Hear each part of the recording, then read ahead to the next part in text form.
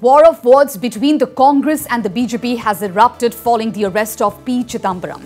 The BJP has accused the Congress of being a corrupt party. Union Minister Mukhtar Abbas Naqvi has said that it is an old trend of the Congress party to revolutionize corruption.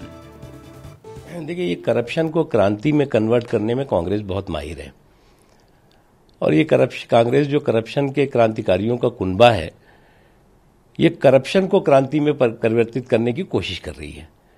अभी तक हमने corruption के खिलाफ क्रांति देखी है।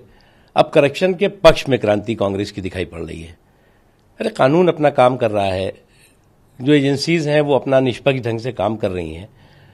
आप इस करप्शन को जो है, वो क्रांति में बदलने की कोशिश कर रहे हैं और दुनिया को बताने की बताने की कोशिश कर रहे हैं कि जो लोग, जो गिरफ़्तार हुए हैं या जो अभी तक छिपे हुए थे, वो बहुत बड़े कोई क्रांतिकारी थे।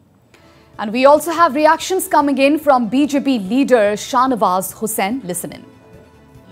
उन्हें मालूम था कि उनको कानून के अपने आप को हवाले करना चाहिए था लेकिन इतना ड्रामा, छुपना दिन भर फिर कांग्रेस दफ्तर में चले जाना, फिर पीछे से जाकर अपने घर का दरवाज़ा को बंद कर लेना अगर सीधा दरवाज़ा खोल देते तो क्या सीबीआई को कूद कर जाने की ज़रूरत पड़ती?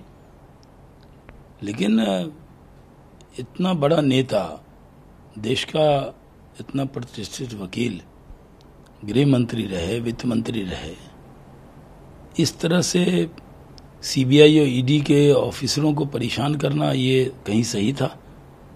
सीधे दरवाजे पर खोलते और बताते, सीधे उन जब आपकी हाई कोर्ट से जमानत नहीं हुई, तब आप सीधे अपने आप को हवाले करते। पूरा देश देख रहा है कि किस तरह का व्यवहार कांग्रेस के नेता ने किया है।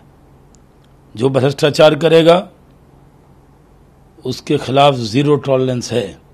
ईडी और सीबीआई कार्रवाई करती है और इन संस्थानों पर पूरे देश का विश्वास है।